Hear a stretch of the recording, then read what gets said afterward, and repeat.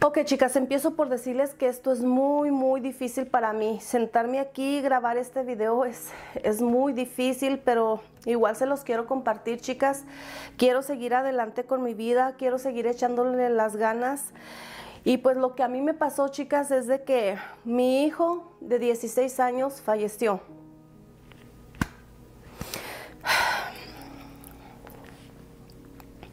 Falleció en un accidente automovilístico salió con su amigo, con su amiguito, el amigo de 16 años también. Empezaba a manejar, ya tenía su carro y empezaba a manejar y salió con él y lo que pasó fue de que pues tuvieron este lamentable accidente. Cuando nosotros nos vinieron a informar de este, de este lamentable accidente, estábamos en casa mis dos hijas, mi hijo el mayor, mi esposo y yo. Solamente él no estaba, que era el que pues andaba con su amiguito. Estábamos mi esposo y yo en el cuarto y oí que tocaron la puerta y a mí se me hizo raro porque siempre tocan el timbre. Yo tengo timbre ahí a la entrada de, mi puerta de enfrente de la casa, siempre timbran y esa vez tocaron. Y a mí se me hizo algo raro, dije, ay, oí bien como que tocaron y en eso que estaba yo asimilando, tocan la puerta de nuestro cuarto y es mi hijo el mayor.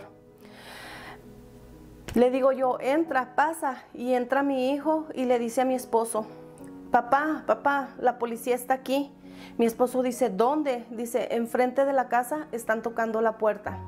Mi esposo inmediatamente sale del cuarto y dice, pues, ¿qué quedarán? Y sale del cuarto, yo me quedo en el cuarto, pero yo alcanzo a oír lo que ellos hablan. Mi esposo abre la puerta. Cuando abre la puerta, chicas, yo solamente oigo a un policía, venían dos, pero solamente oigo a un policía que le dice a mi esposo, ¿podemos hablar con el papá o la mamá, eh, con el papá y la mamá de Ángel? No dijeron su, apellido, solamente dijeron el papá y la mamá de Ángel y mi esposo inmediatamente contestó, sí, yo soy su papá. El policía le contestó, señor, ¿podemos entrar? Necesitamos hablar con usted. Cuando yo escuché eso, empecé a ponerme mal. Dije, algo no está bien, algo no está bien. Cuando yo vi a esos dos policías entrar y vi el semblante de uno de los policías que era el que estaba hablando, el que todo el tiempo habló, el otro no cruzó palabras, solamente uno. Cuando yo vi el semblante de ese policía, inmediatamente dije, algo pasó, algo pasó. O sea, en su semblante yo le vi. Le dice a mi esposo, Señor, le venimos a informar que Ángel tuvo un accidente. Cuando yo oigo eso, chicas, me pongo, pero mal, me pongo ah, nerviosa, me empecé a temblar y dije, sí, oí bien. Salgo del cuarto yo, me voy hacia la sala y le pregunto al policía, ¿dónde está mi hijo? ¿Dónde está mi hijo?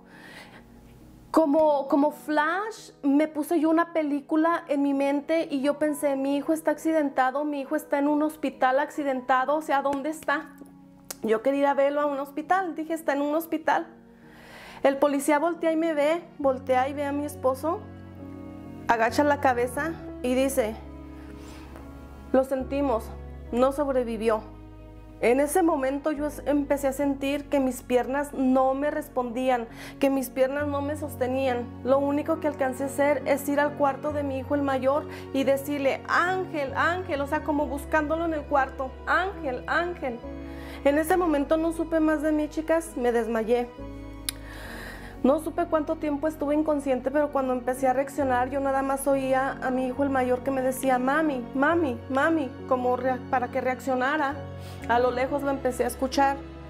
Y ya cuando estaba más, más bien, más que, que volví en sí, oigo a mis hijas llorar en el cuarto. Mi esposo entra al cuarto de mis hijos y me dice, Molly, necesitamos irnos. Él me dice Molly, siempre me ha dicho así. Molly dice, necesitamos que ir, necesitamos que, necesitamos que ir a buscar a Ángel. En ese momento yo no sé qué me pasó, me bloqueé, literal me bloqueé y le dije yo a mi esposo, yo no puedo, yo no puedo, o sea, yo, yo no puedo.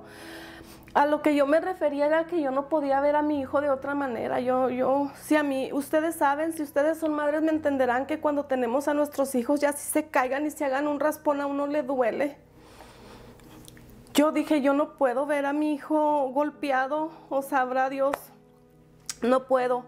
En ese momento mi esposo me dijo, está bien, está bien, quédate, quédate, pero yo sí tengo que salir a buscarlo. El policía le dejó un número de teléfono y le dijo, mira, por aquí vas a empezar, vas a hablar este número de teléfono y de ahí te van a ir guiando, y así es como vas a saber dónde está. Yo me quedé pues en shock, chicas, literal en shock. Yo no sabía, o sea, yo, yo soy una persona que sueño mucho y a veces tengo pesadillas, chicas. Y cuando tengo esas pesadillas ya abro mis ojos, digo, oh my gosh, gracias Diosito porque fue una pesadilla. O sea, no pasa nada, Delia, porque me, me despierto a veces asustada, pero digo yo, no pasa nada, es una pesadilla. Así pensé yo que eso me estaba pasando, yo quería despertar literal, yo sentía que estaba en una pesadilla, pero que en cualquier momento iba a despertar y eso no iba a estar pasando. Pero no, chicas, era la realidad, eso es lo que a mí me estaba pasando. Fue un momento devastador, triste, sientes que se te viene el mundo encima. Yo siempre oí decir, chicas, siempre oí decir que el dolor más grande de una madre era perder un hijo. Y créanme que sí. Inmediatamente me comuniqué con mis hermanas y les, y les dije, ¿verdad?, lo que me estaba pasando. Gracias, hermanas, gracias, se los agradezco si me están viendo desde el fondo de mi corazón. Siempre, siempre agradecida porque mis hermanas me dieron, junto con sus esposos y sus familias, me dieron un apoyo, pero tan grande, tan incondicional. Mis hermanas viven a tres horas y media de, tres horas y media de aquí de donde vivo yo y a las cuatro horas ellos ya estaban aquí, pero es que todas mis, hermanas con sus esposos, siempre apoyándome y siempre no dejándome sola y ellas están ahí siempre para mí, yo les agradezco mucho. Chicas, algo que pasó es de que aquí donde nosotros vivimos no tenemos nada de familia ni de parte de mi esposo ni de mi parte, estamos, haz de cuenta, él y yo con nuestros hijos así, pero familiares de los dos lados no tenemos a nadie. Entonces, chicas, cuando eso pasó, empezó a llegar, pero tanta y tanta y tanta gente, mucha gente, todos los días la casa aquí estaba llena, llena de personas que llegaban, que me daban el pésame, que me decían que habían conocido a Ángel y siempre diciéndome cosas hermosas de mi hijo, siempre diciéndome, Ángel tan carismático, Ángel tan respetuoso, Ángel tan educado, Ángel tan... Miren, chicas, yo siempre les inculco a mis hijos que sean respetuosos y, educados. De mis cuatro hijos, él era el que era más amiguero, le encantaba tener amigos, siempre lo estaban buscando sus amiguitos y a la mayoría de sus amigos yo, las, yo los conocía porque todos viven aquí en la misma área, así es que yo a la mayoría de sus amigos yo los conocía era muy, muy amiguero. Y como yo sabía que iba y se metía a la casa de sus amigos, así mismo yo aceptaba también a sus amigos aquí. Todo el tiempo estaban aquí, entraban, estaban acá atrás en la yarda y esto lo otro. Yo aceptaba a sus amigos porque yo también sabía que mi hijo también iba y se metía a la casa de, los, de sus amigos. Conocía a los padres incluso de sus amigos.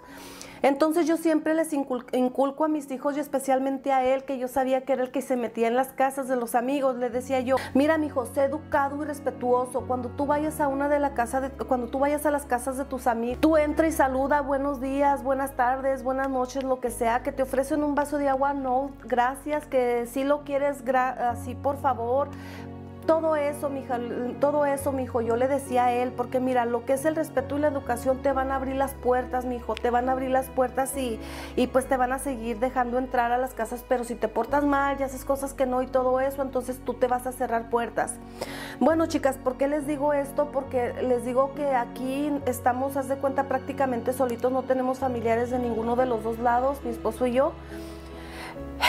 Y cuando esto me pasa, chicas, aquí la casa llena, llena, llena todos los días de personas que venían y me daban el pésame. Y no les voy a decir que toda la gente, chicas, no les voy a decir eso, pero la mayoría de las personas sí me decían, es que Ángel tan educado y es que Ángel tan respetuoso y eso a mí me quedó como satisfacción porque yo digo, bueno, mi hijo me, hizo caso, ¿verdad? También otra cosa, chicas, haz de cuenta que empezamos nosotros pues a rezar rosarios y rosarios y rosarios. Mi hermana, la más chiquita, sabe rezar el rosario y pues nos agarrábamos a veces hasta dos rosarios hasta el día, en el día y rezábamos y la, gente aquí, ¿verdad? Y aquí en la casa y, la, y pues toda la mayoría de la gente que venía pues es gente, era gente americana cuando nosotros les decíamos que íbamos a rezar el rosario, muchos sabían, porque muchos son pues de la religión católica, pero muchos no. Entonces nosotros decíamos que íbamos a rezar el rosario y yo pensaba, yo decía, pues se van a ir, ¿verdad? Porque pues ellos no, muchos no saben o no entienden, simplemente no entienden. Pues no, chicas, se quedaban ahí, se quedaban aún sin ellos entender nada, aquí se quedaban. Fue algo muy, pues muy grande que yo dije, wow, mi hijo, mira nomás cuánta gente llegaste a conocer, cómo tienes aquí. Ellos eran, eran del equipo de, fútbol americano. Tuvimos mucho apoyo de la comunidad, chicas, de la comunidad de Mustang, ah, mucho apoyo de la escuela, de la directora de la escuela, ah, de los coaches, del equipo, del equipo donde, donde estaban estos muchachitos, donde estaba mi hijo. Haz de cuenta que los servicios de mi hijo fueron en un miércoles, así en un martes y miércoles. El martes fue el funeral y el miércoles este, fue lo de su misa y todo eso. Entonces yo dije, pues es como que entre semana o sea, mucha gente no va a ir, ¿verdad? Porque pues tiene sus trabajos, sus cosas que hacer y no van a ir.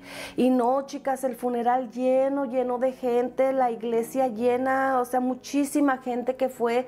Y eso me hizo sentir muy, muy bonito porque dije, mi hijo dejó abiertas muchas puertas como yo se lo decía. Miren chicas, yo les voy a decir una cosa. A nosotros vinieron a darnos la noticia y un día después yo me puse muy mal, muy mal chicas, me puse muy mal.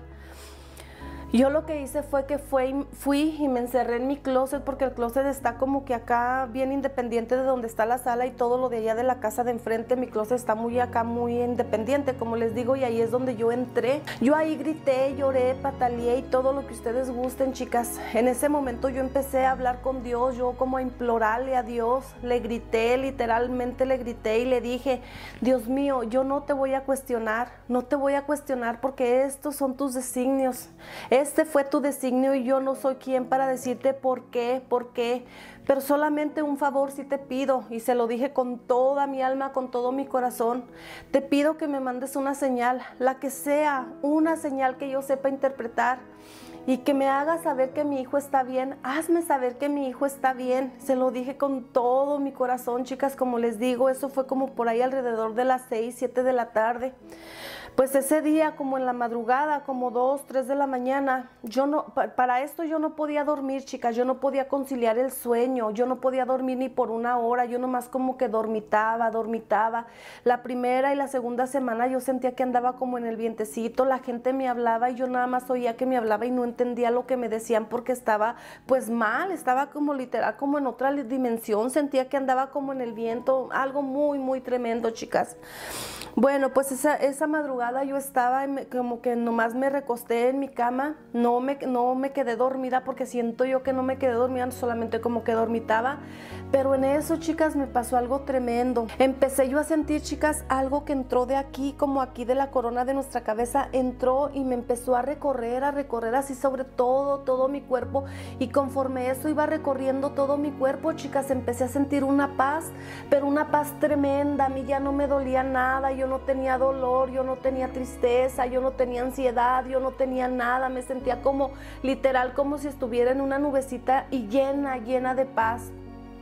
En eso que estoy en esa paz tremenda, yo oigo clara, claramente, pero es que claramente oigo la voz de mi hijo. Y esto fue lo que me dijo. Esas palabras, chicas, nunca, nunca se me van a olvidar hasta el último día de mi vida, chicas.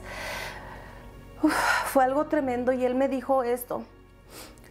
Mamá, no sufras, yo estoy bien, a mí no me duele nada y en el lugar donde yo estoy es un lugar muy bonito.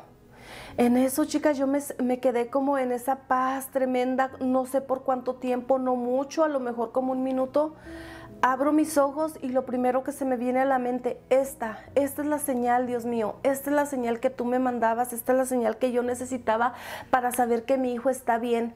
Y desde ahí, chicas, desde ahí yo sé que mi hijo está bien, creo firmemente que él goza del paraíso al lado de nuestro Dios. Chicas, mi hijo se me ha manifestado de diferentes maneras y todo el tiempo diciéndome, estoy bien, estoy bien.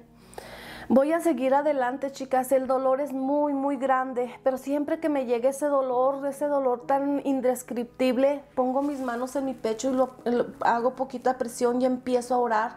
Empiezo a orar para que Dios aminore mi dolor. Dios no me suelta, chicas. Dios no me suelta. Dios es mi, es mi fuerza y es mi fortaleza. Y yo, yo chicas, les voy a decir una cosa, yo quise lo mejor para mi hijo aquí en la tierra, lo mejor, como todas las madres queremos lo mejor para nuestros hijos. Es por eso que yo estoy haciendo, tratando de hacer lo mejor para que él esté bien allá donde él está. Porque yo sé que si yo estoy triste, desbastada, en depresión, mal, Él me percibe, Él me percibe en vida. Yo tuve una conexión muy, muy fuerte con Él, muy bonita, como la tengo con cada uno de mis hijos. Y yo siento que esa conexión no, no se, no se rompe. Porque el amor de una madre, chicas, el amor de una madre trasciende, trasciende más allá hasta de la muerte. Y yo siento que sigo teniendo esa conexión con mi hijo y por eso yo lo ayudo, yo lo ayudo como tratando de salir adelante, chicas. Si ustedes en algún momento me ven sonriendo y todo eso, pues la sonrisa es una cosa, pero el dolor se lleva aquí, el duelo se lleva aquí. Yo hablo con mi hijo y le digo, mi hijo, yo voy a estar bien, yo estoy bien, yo quiero que tú estés bien. Y hablo con él y le digo, a mí nada más, apártame un pedacito allá donde estás, mi hijo, porque tú me lo dijiste, es un lugar muy bonito. Chicas, yo sé que puede haber personas que pueden decir que porque estoy haciendo este video, les voy a decir por qué lo estoy haciendo. Porque quiero decirles que la fe, la fe es lo más, lo más grande que podemos tener, chicas. La fe en Dios, porque Dios es nuestra fuerza y nuestra fortaleza. Sin Dios, sin la fe que yo tengo en Dios y sin Él, yo no sé, yo estaría volviéndome loca. Y es por eso que día con día trato de echarle ganas y salir adelante. Yo sé que mi hijo, de donde Él esté, Él me quiere ver bien. Si yo estoy bien, Él va a estar bien, porque así es, así somos las madres con los hijos y los hijos con las madres. Si estamos bien, si, si nuestros hijos están bien, nosotros estamos bien. En este caso yo estoy eh, bien, mi hijo lo va a percibir y va a estar bien. Sigo adelante con esto de los videos, chicas, porque les quiero contar algo. Una vez yo subí uno de mis videos en el canal de belleza, yo subí uno de mis videos y mi hijo estaba en casa de un amigo. Entonces subo yo mi video y así como a los pocos minutos me marca mi hijo y me dice, mami, adivina qué. Y le digo yo, ¿qué pasó? Y me dice, estoy aquí con mi amigo, ya me dice el nombre de su amigo, dice, y en eso entra la notificación de que subiste el video, dice, y te estamos viendo en la televisión en el cuarto de mi amigo. Y yo, oh, sí, digo, sí, le digo, oh, ok, cool, digo, qué chido, así, ¿verdad? Entonces ya cuando él llegó, yo le dije, Ángel, y luego voltea y me ve con su carita y le digo, ¿no te sientes mal? Le digo, ¿no te da pena? Y me dice, ¿por qué? Le digo, porque yo hago videos en YouTube. Y me dice, no, mami, dice, no. Si eso es lo que a ti te gusta hacer, dice, tú hazlo. Dice, yo al contrario, les digo a mis amigos que tú haces videos en YouTube. Es por eso, chicas, que yo quiero echarle ganas a todo esto y salir adelante. Como les digo, sí es muy reciente, muy, muy reciente lo que, lo que a mí me pasó, pero voy a ser fuerte con la ayuda de Dios. Dios no me suelta, nunca me suelta de su mano y, voy a seguir adelante voy a seguir adelante por mis otros hijos, porque pues miren chicas, yo perdí a mi hijo, ellos perdieron a su hermano y mi esposo pues perdió a su hijo, ¿verdad? También. Entonces por eso yo voy a seguir adelante, porque yo sé que mi hijo está bien y que yo ya, ya ahora tengo un ángel grande, grande en el cielo que me cuida, que me guía, que me protege. Y, yo lo siento, lo siento, siento su presencia conmigo. Yo ahora mi hijo, yo ya nomás lo veo en mi imaginación y cuando lo sueño porque lo he soñado. Lo he soñado y cuando despierto y abro mis ojos pues me da tristeza porque sé que es un sueño, pero a la vez digo, mi hijo, te vi, viniste a visitarme en mis sueños. Él está bien, yo sé, porque él me lo dijo que él no le dolía nada, que él no sufría y el lugar donde él estaba era un lugar muy bonito. Entonces yo, yo creo firmemente en eso. Como les digo, chicas, todo, todo tiene un porqué. A veces uno no lo entiende. Dios no se equivoca y Él tiene, él tiene planes perfectos. A veces uno sin entenderlo, pero Él no se equivoca. Él sabe por qué, ¿verdad? Pasó esto. Lo que pasó con mi hijo es que su amigo de 16 años también vino y lo recogió y se salieron los dos. Este muchachito empezaba a manejar, no tenía mucho que manejaba, pero ya tenía su carro, entonces vino y recogió a mi hijo y se salieron y lo que pasó es de que este muchachito perdió el control del carro, se salieron de la carretera, se volteó el carro y con el vuelo que llega, llevaban, este, pues llegaron y pegaron en un poste, entonces pues ahí los dos, los dos fallecieron, los dos, mi hijo y este otro muchachito también, les digo, de 16 años. Ah, mi hijo era un jovencito lleno de vida y lleno de sueños. Uno de sus sueños era llegar a jugar fútbol americano profesional. Él siempre decía y él se, visualizaba y él decía, yo un día voy a lograrlo y voy a jugar fútbol americano profesional.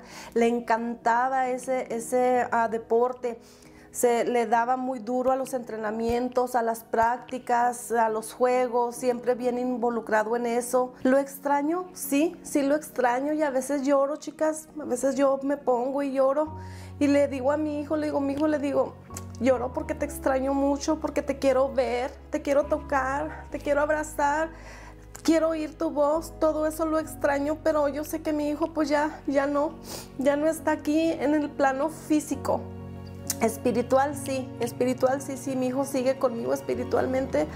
Eso es pues mi dolor que yo pues lo extraño mucho, pero sé que él está en un lugar muy bonito, como les digo que él me lo dijo, entonces eso es lo que me hace sentir bien, lo que me da pues las fuerzas de seguir adelante, chicas. Chicas, yo nunca les digo que compartan mis videos, pero en esta ocasión les voy a pedir por favor que compartan este video porque quiero llegar a esas madres que han perdido a un hijo al igual que yo. Estoy en dos grupos de madres que han perdido hijos y es una cosa tremenda, chicas, tremenda. Todos los días, todos los días a diferentes edades. Entonces, esas madres al igual que yo sufrimos, sufrimos mucho, pero si tenemos fe en Dios, si nos aferramos a Dios y tenemos fe en Dios, Dios no nos deja, Él nos, Él nos sostiene, Él nos da, como les digo, la fuerza y la fortaleza. Piensa en una cosa, mamá, que me estás viendo y que has perdido un hijo. Quisiste lo mejor para tu hijo aquí en la tierra, haz lo mejor para que tu hijo esté bien allá en el reino de Dios, que él ya no tenga dolor, que él ya no tenga preocupación, porque ellos perciben, perciben nuestro dolor, nuestro sentir, entonces ellos no descansan. Ayúdalo a descansar en paz, ya que goce de ese hermoso paraíso, porque él ya está con Dios, con Dios, pero está también contigo, está con, están con nosotros, ellos no nos dejan. Ahora ya tenemos, como les digo, un ángel grande, grande en el cielo que nos cuida, nos protege y nos va a guiar por nuestro camino. Solamente lo que tenemos que hacer nosotros como madres que hemos perdido un hijo es hacer las cosas lo mejor, lo mejor posible, lo mejor posible para un día que Dios nos llame y nos derechito allá con nuestros hijos, porque ahí es donde vamos a ir todos, chicos, un día. Entonces vamos a tratar de hacer lo mejor posible, que nos vamos a equivocar, sí, sí nos vamos a equivocar porque somos humanos, somos humanos, pero a tratar de hacer lo mejor posible. No sufras, mamita. Él, si tú sufres, tu angelito también sufre, tu ángel también sufre, entonces no sufras mamita, échale ganas a la vida y te aseguro que si él te percibe que estás bien, él va a estar muy muy bien porque él ya no puede hacer nada por ti, ¿cómo crees que él se siente sintiendo tu dolor, sintiendo que estás en depresión, en dolor, en desesperanza?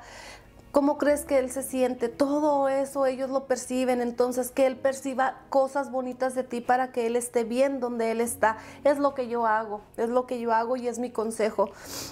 Entonces, chicas, si llegaron hasta, hasta este punto del video, hasta aquí, les agradezco de corazón y pues nos estamos viendo, chicas, hasta la próxima. Bye bye.